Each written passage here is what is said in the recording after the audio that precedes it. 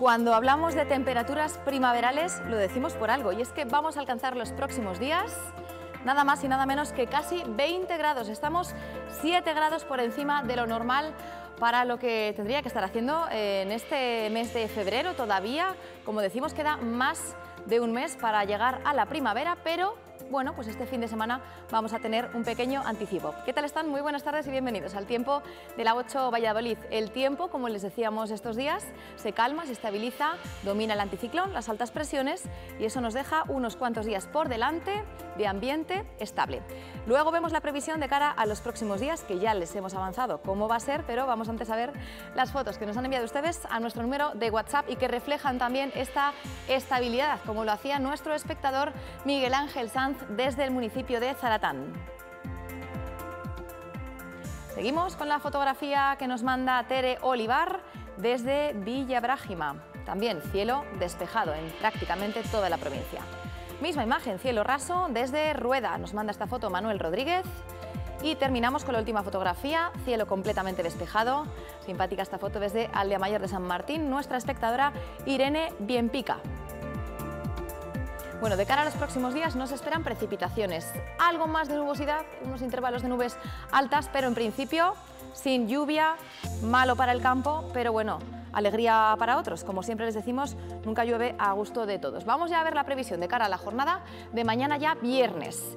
Va a ser una jornada de nuevo con cielos poco nubosos o prácticamente despejados con temperaturas pues que comienzan a subir tanto las máximas como las mínimas. Fíjense, Villalón de Campos 17 de máxima, 1 bajo cero de mínima solo.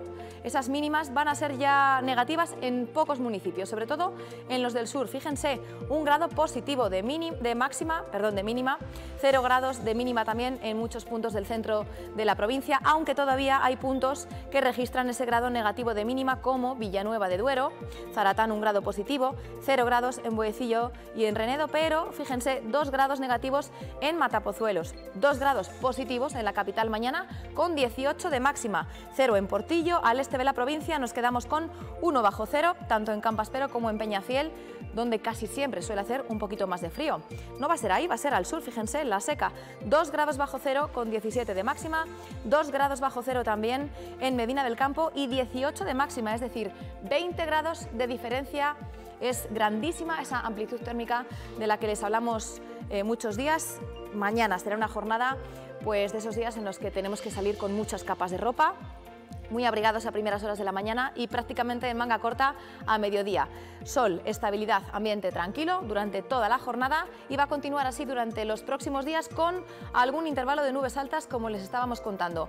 18 grados el sábado si se cumple la previsión, fíjense, nada más y nada menos que 20 grados el domingo, 20 grados también el lunes, esas mínimas que ya son positivas y que suben incluso hasta los 3 grados para comenzar la próxima semana. Así que, bueno, de momento lo que tenemos que hacer es aprovechar este ambiente tranquilo y estable que a muchos nos gusta, ¿verdad? Disfrutar del sol, pero también pedimos que bueno, pues que dentro de poco haya algo de precipitaciones que nos viene también bien a todos. Ya saben que si hay cambios, se lo contamos aquí en el tiempo de la 8 Valladolid. Ahora nos despedimos, como siempre, recordándoles el número de WhatsApp al que cada día nos mandan ustedes esas fotografías. Recuerden nombre, apellido y lugar de la foto, que es lo que nos hace falta para luego poder ponerlas en la pantalla. Que pasen un feliz resto de jornada. Gracias por acompañarnos.